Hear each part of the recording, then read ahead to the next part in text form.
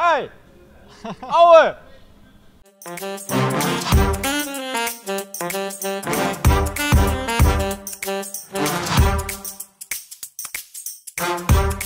Ja, ik wil belangrijk zijn voor het team en eh, ja, persoonlijk wil ik gewoon zoveel mogelijk spelen en uh, daar ga ik alles aan doen. En dan zien we wel hoe ver het komt.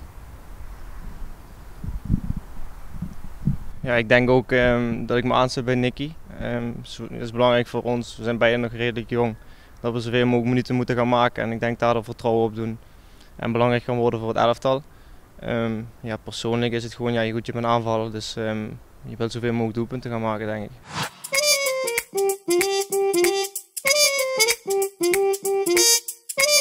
Goeie vraag, Robin Snakkers. Uh, ja, ik denk ik toch wel een assist. En jij? Ja, goed, ik ben aanvaller, dus uh, liever een doelpuntje meepakken toch?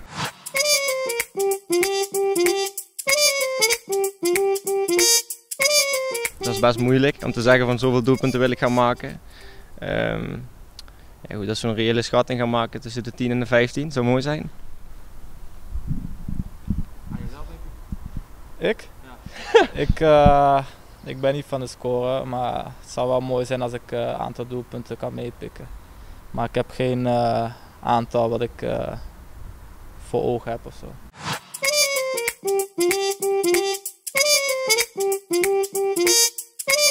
Sepp maar onze verwachtingen zijn denk ik uh, ja, wat al is uitgesproken door de club. We willen meedoen in de top 5, dus ja, ik denk dat daar wel alles al mee is gezegd. Um, ja, wat Nick jij altijd zegt van...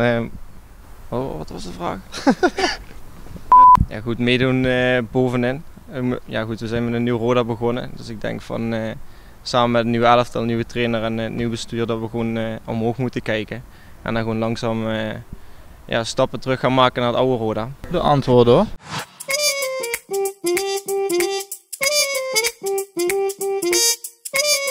Nou ja, voor mij, omdat ik daar toch mijn debuut heb meegemaakt en uh, ja, ik vind het een mooi nummer, dus uh, heb het lekker gehouden. Ja, bij mij zit er ook niet echt een speciale gedachte achter. Ik heb dat uh, vorig jaar gekregen, ik was er tevreden mee. En ja, goed, waarom zou je gewoon niet bijtekenen met nummer 18? Dat is gewoon prima toch?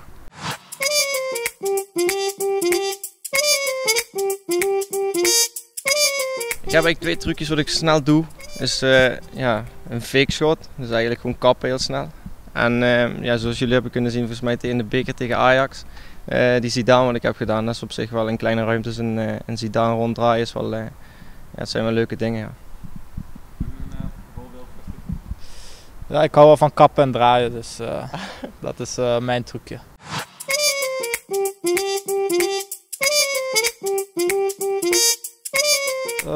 Ja, zeker. een goede trainer waar hij overal heeft gewerkt. heeft toch wel goede dingen neergezet. En, ja, we hebben samen met hem gesproken en ja, kwam wel positief over naar ons toe. Ja, inderdaad, wat Nicky zegt, we hebben even kort met hem gepraat. Ik denk dat, ja, goed, het was kort, maar eigenlijk best krachtig. We hebben ja, gewoon over wat korte dingen gehad, over hem zijn persoonlijkheid, hoe wij in elkaar zakken, maar...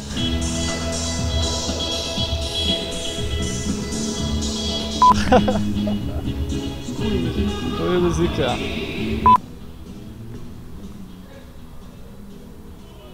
Hey! Ouwe!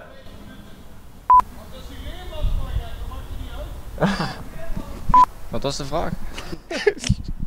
ja, zoals Nicky net zei, van, uh, we hebben kort met hem gesproken. Ja, we stonden even kort op het veld, het was wel een prima gesprek. Ja, goed, dit is eigenlijk een, eh, een trainer die wat eigenlijk wel redelijk veel ervaring heeft. Ook ja, goed, als hij bij Heerenveen heeft uh, getraind, ja, goed, dan neem je wel heel veel ervaring met je mee. En zeker voor ons twee is dat denk ik wel belangrijk dat een trainer hier staat met, uh, met heel veel ervaring waar wij eigenlijk tegenop gaan kijken. En ik denk dat hij ons wel stappen ja, omhoog kan, kan maken.